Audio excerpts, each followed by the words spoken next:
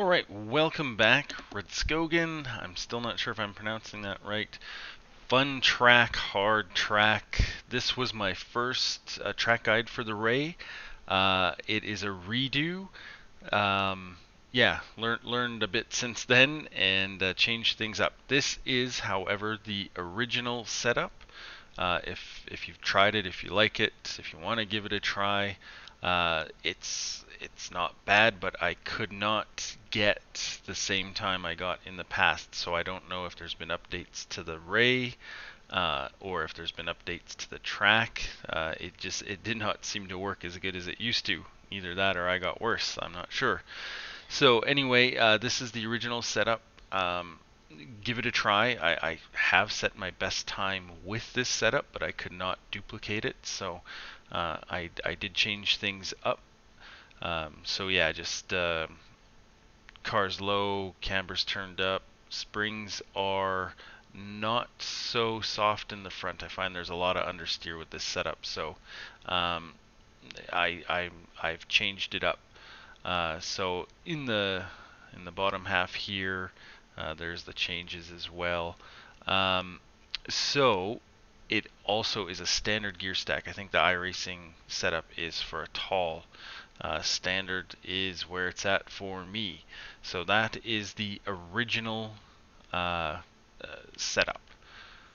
So we'll go into the new setup. This is the new one.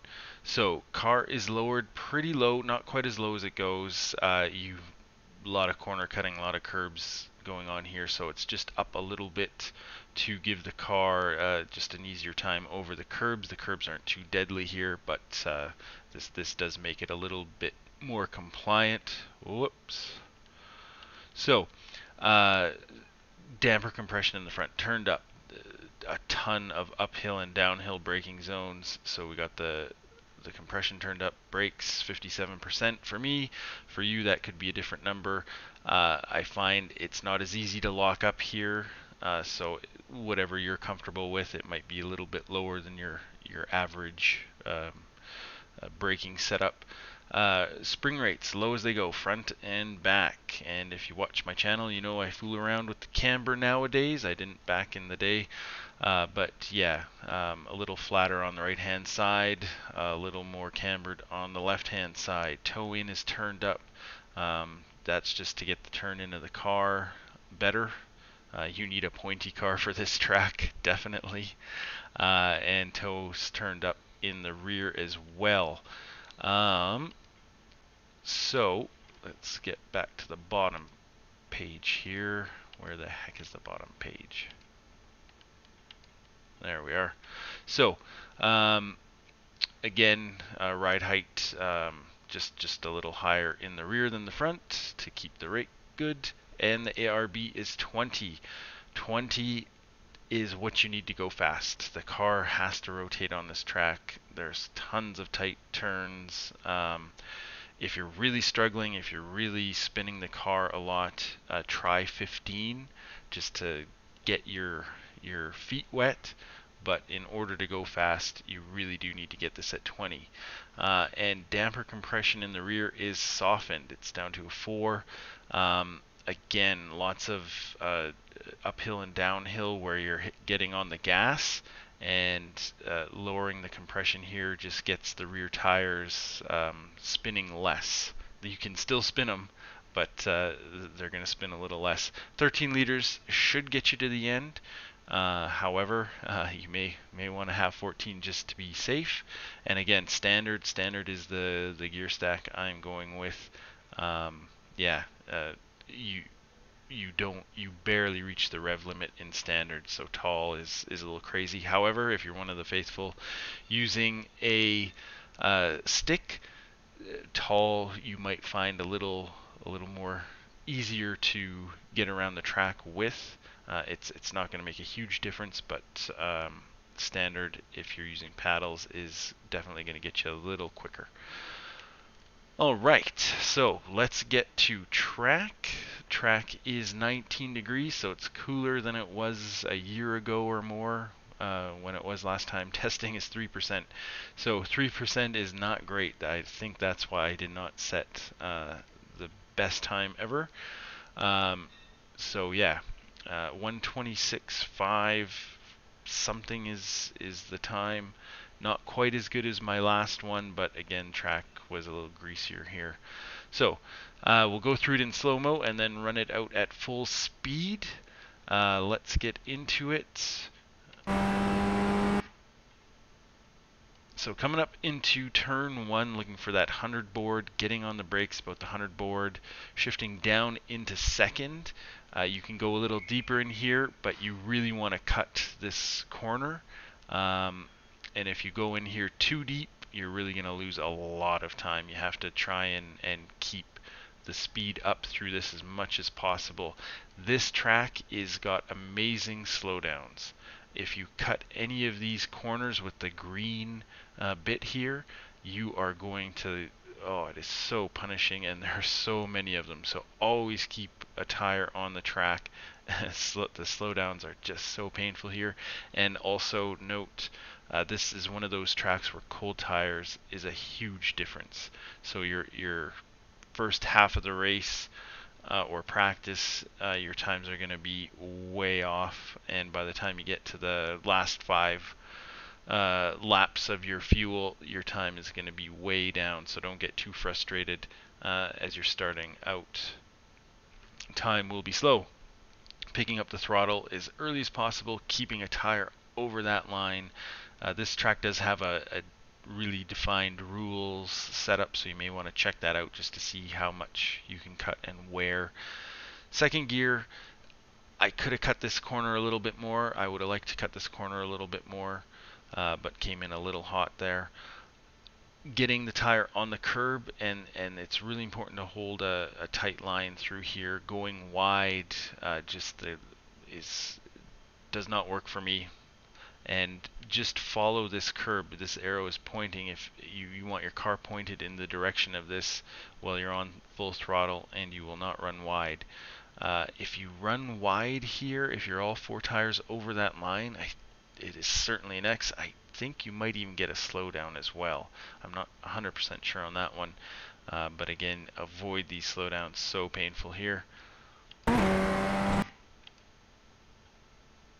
All right.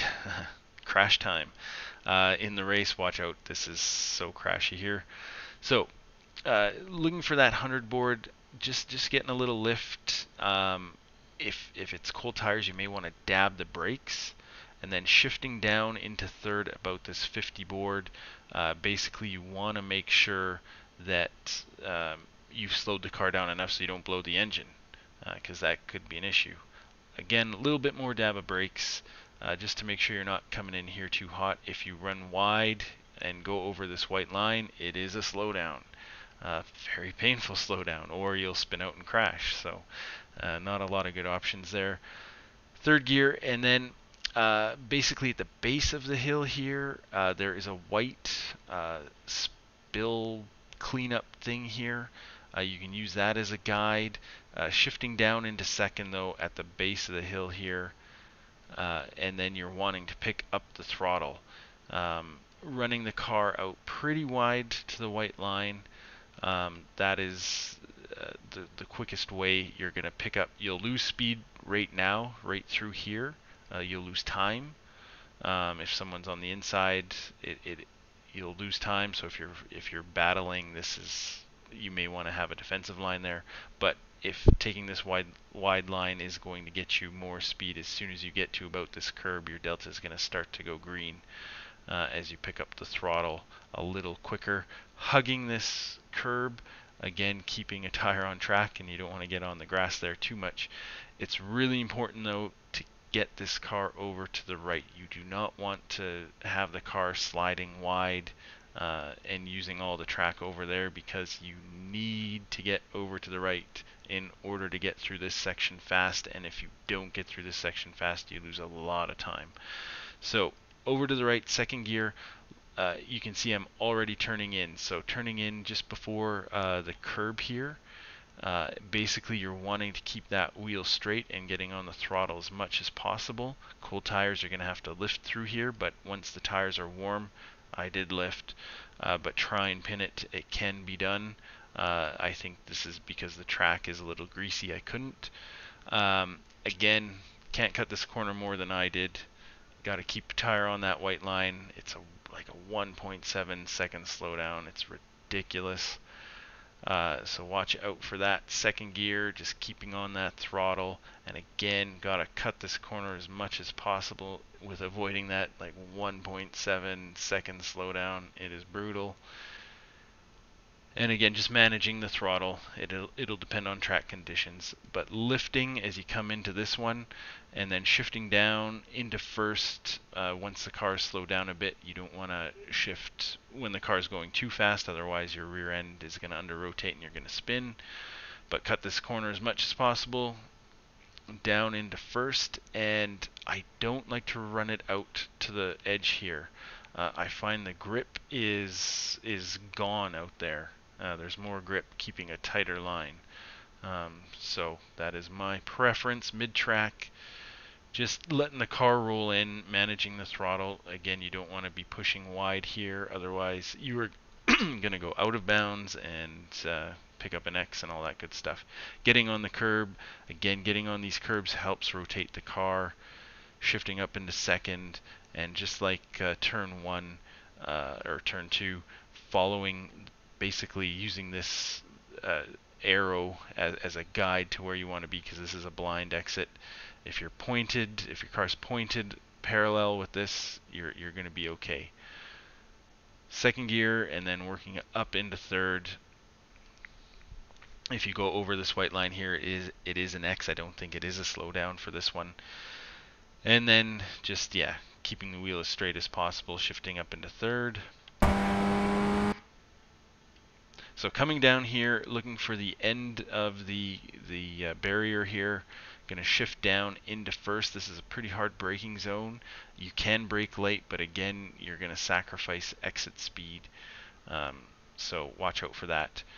Down into first, and then picking up the throttle as early as possible, and then cutting in and getting onto these curbs again. Now this is one you have to really watch out for. There's actually a lot of spinouts and crashes in this corner um, as you come up onto this hill, easing on the throttle. If, if you stomp on it, uh, you are going to spin your back end and you might spin out or you might just spin the tires and lose a lot of time. So watch out for that. That's why the compression is softened. If you keep that compression higher in the rear, uh, it's it's a lot easier to spin up those tires. And then just you can use all the track out here again don't get on the grass, don't cross that white line. Otherwise, you are in trouble. Working up into second, um, you could get up into third here, especially in a race if you're drafting off somebody. Uh, watch out for that. Second is is uh, a lot more comfortable for the timing and and such for me. So looking for this worth sign on the right, uh, basically going to just give it a dab of brakes up top here. Um, if you brake later, the, the, track is downhill now, and uh, that's that's going to unsettle the car as well. If you turn in too late here, it is downhill, and the back end is going to want to step out. So you want to have the car turn turned in and, and pointing in the right direction before that downhill really starts to come into play, and then picking up the throttle as early as possible. Again, rinse and repeat. Uh, keep one tire on the track there. I cut that about as much as you can, otherwise you get a huge slowdown. And use, you know, you got to keep it in bounds here, but you use a bit of the track on exit. Still in second gear. Again, I like to hold it in second gear. And you got to turn in here a lot earlier than you think at the sand starting to turn in. Uh, if you turn in later, again, um, you're the track is off camber, you're not going to cut the corner as good, and it's it's going to slow you down. And then just managing the throttle, cutting this corner as much as possible. Again, avoid that slowdown, and then sort of picking up the throttle here, heading towards the the signage, and then just a, a dab of brakes. You could use this white line as as a guide, um, braking at it or just a little bit before it and again wanting to get out to mid track uh, again if I get way over to the left here I find the grip is lost uh, you might you will pick up a little bit more speed in that straightaway by the end of the straightaway, but uh, you are going to gain a lot more time shortening this corner. Um, and and I find it's a, it's a net gain if if you hold a tighter line here. So turning in, managing the throttle, um, basically at the end of these signs, you, you, you want to have the car turned in and getting onto that uh, curb. I probably am here a little bit too wide. Should have been on the curb a little earlier. And then, yeah, full throttle. This this is another tricky long corner. Um, just managing the throttle here. You don't want to push too wide. Uh, you will get uh, slow or uh, you may get a slowdown, but you'll certainly get an X. And you want to be on full throttle when uh, the stands are in sight. And if if you're doing that, you will not run wide, uh, assuming you are on those curbs.